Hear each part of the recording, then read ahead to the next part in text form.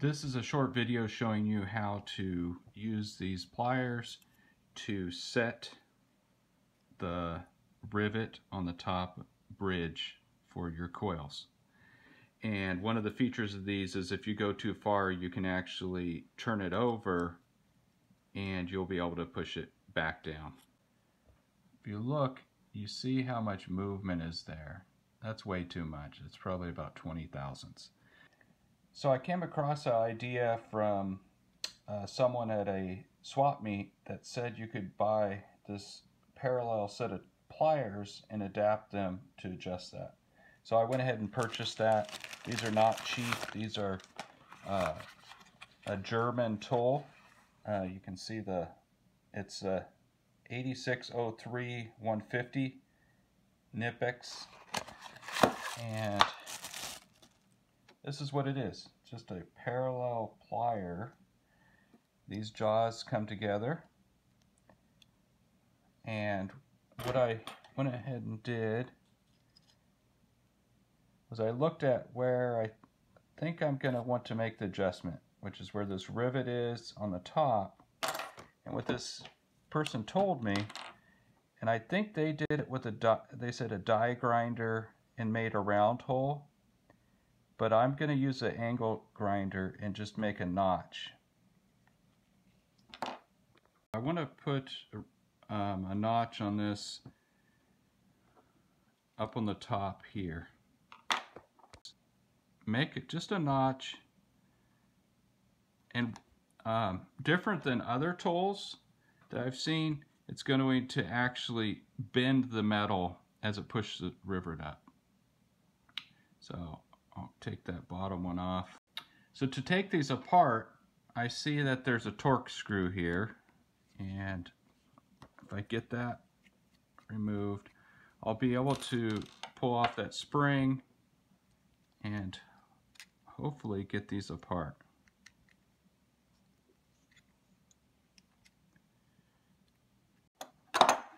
So after taking off the spring, I needed to get this piece off. It's the, it doesn't disconnect. So I'm in the process of using the screwdriver and prying it out.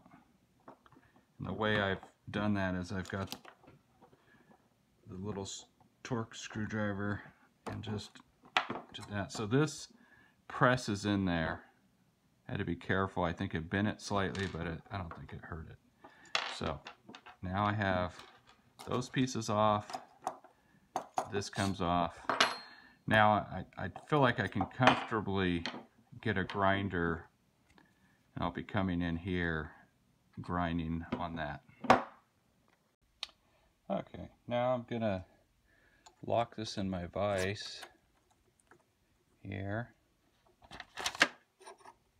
and start grinding.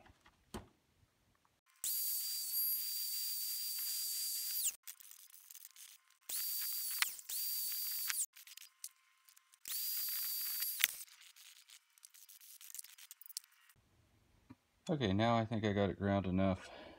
It's gonna fit around the rivet like that. And I have to push it back. I might want to, yeah, I want to grind it a little more.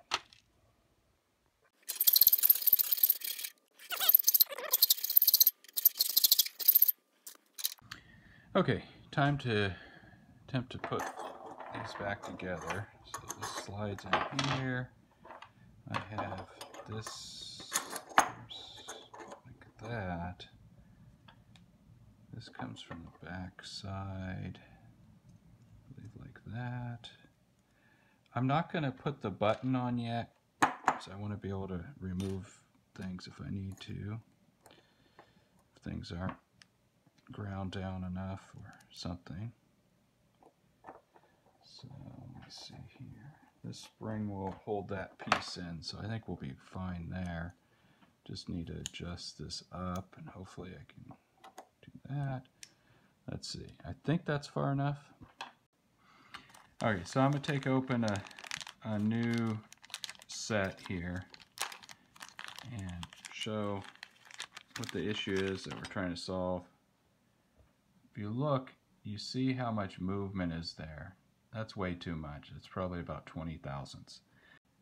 Okay, I'm going to use the shim I made. I think with this tool, if I go too far, it's not a big deal, but I've made this in the past, so then when I'm either pounding or trying to push these uh, rivets together, I don't overdo it. In this case, we're going to have a method to fix that, but I just, I'm going to slide this in here. What I'm going to do is get the tool where that back side of the rivet is and have it there. And then I'm pressing on the head of the rivet which is under the the flat jaws. And I'm just going to press nice and hard. Okay so that kind of bent that. Now in this case wow I overdid it. I'm gonna have to get used to using the new tool. But that's not a big deal because I can come back and gently push it back. Now, I can look at it and say, well, where is it? There's some movement. Okay, so it looks like I might have made it too wide. All I needed was enough space for the head of the rivet, and I probably did almost one and a half times that. And you can see the marks there that are on there, but that shouldn't hurt much. Also, if I just want to flatten the head, I can find another spot on the tool and just kind of do do how maybe it would you would have to do it if, if we didn't put the grinding. So now, again, I think I've maybe overdone it. If there's a thousandth of, of play, that's about it. So I can go back here and I can just kind of gently press it see if that, yeah. That's a lot less than original, but I can kind of go back and forth. Um, either trying to press the rivet like that. Just, it looks like this rivet head needed to be flattened anyway, so I was wanting to do that. And then this is just a few thousandths of movement. Um, depends on who, where you look. Some places will say two or three thousandths. Some will say five thousandths. But then most people agree that when you go over five thousandths, that's too much. I would have to see this installed to see if it gets a little bit more, which it looked like it will. But really, all I want to see is a little bit of play there. Okay, I think it's good enough. Um, I don't want to lose this little piece here. So I'm going to try to gently put that back in place.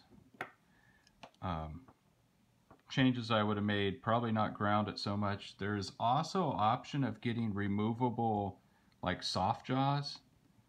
That may have been a lot better idea. I could probably through those soft jaws just drilled a hole and um, I might still consider that. Maybe put the soft jaws and even put, um, may or may not put something under there. But um, definitely I think these will be great tools. Uh, these are not cheap. These are German made. Uh, expect to pay probably 60 bucks for these. Can find them on eBay. Um, again, it has the number there that you can uh, use, the 8603150 and that's a metric number. So 150, I believe, is uh, 6 inches, which is 15 uh, centimeters. And so if you want some a little bit longer, you can get them. These are handy, small size, and you could even get the 5 inch, which, what are they, 125 or something like that.